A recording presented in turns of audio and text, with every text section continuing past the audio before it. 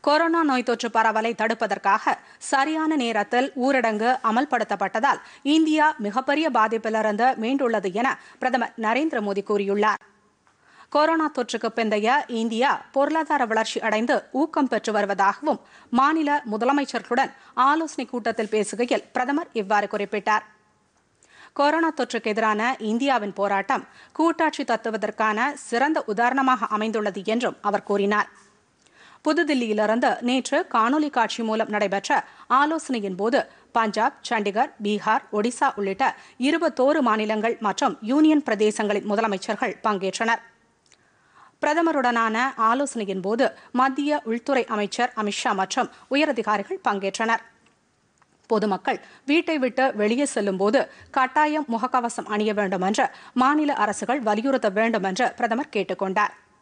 மற்ற நாடுகளை ஒப்பிடும்போது இந்தியாவில் கொரோனாவால் பாதிப்பு மிக குறைவாகவே உள்ளது என்றும் அவர் தெரிவித்தார். எந்த ஒரு இடர்பாட்டையும் எதிர்கொள்வதற்கு தகுந்த நேரத்தில் செயலாற்றுவது மிகவும் முக்கியமானது என்று கூறிய பிரதமர் உரிய நேரத்தில் நாம் மேற்கொண்ட முடிவுகளே தற்போது நாட்டில் கொரோனா பரவலை கட்டுப்படுத்த உதவியுள்ளது என்றார். இந்தியர்கள் ஒவ்வொருவரின் உயிரையும் காப்பதற்காக நாம் இரவு பகலாக பணியாற்றி வருகிறோம். வெளிநாடுகளில் இருந்த ஆயிரக்கணக்கான இந்தியர்கள் நாடு திரும்பியுள்ளனர். பல்வேறு மாநிலங்களிலும் பணிபுரிந்து வந்த புலம்பெயர்ந்த தொழிலாளர்களும் தங்களின் சொந்த ஊர்களுக்கு திரும்பியுள்ளனர். தற்போது பகுதியளவு சாலை ரயில் விமான போக்குவரத்து தொடங்கப்பட்டுள்ளது என்று பிரதமர் அப்போது குறிப்பிட்டார். மிக அதிகமான மக்கள் தொகையை கொண்டிருந்த போதிலும் மற்ற நாடுகளில் ஏற்பட்டுள்ளதைப் போல இந்தியாவில் பேரழிவு ஏற்படவில்லை என்றும் பிரதமர் குறிப்பிட்டார். தற்போதைய இக்கட்டான சூழ்நிலையில் பல்வேறு மாநிலங்கள் திறம்பட செயல்பட்டு கொரோனா தொற்றை கட்டுப்படுத்தி வருவதாக தெரிவித்த அவர் பொருளாதாரத்தையும் மீட்டெடுக்க தேவையான முயற்சிகளை எடுத்து வருவதாக கூறினார் இந்த சூழலிலிருந்து நாம் வெளிவர முடியும் என்ற நம்பிக்கை உள்ளதாகவும் பிரதமர் நரேந்திர மோடி தெரிவித்தார் जो दुनिया के और देशों में कोरोना ने आफत पैदा की है।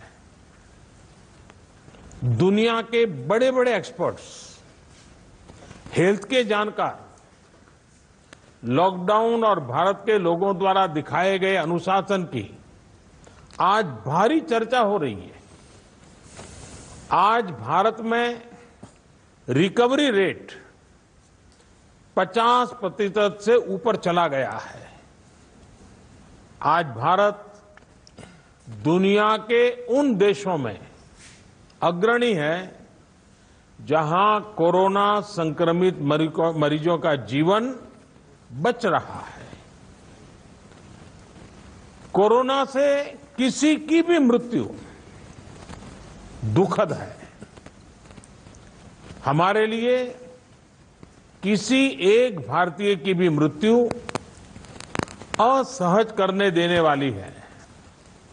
लेकिन ये भी सच है कि आज भारत दुनिया के उन देशों में है जहां कोरोना की वजह से सबसे कम मृत्यु हो रही है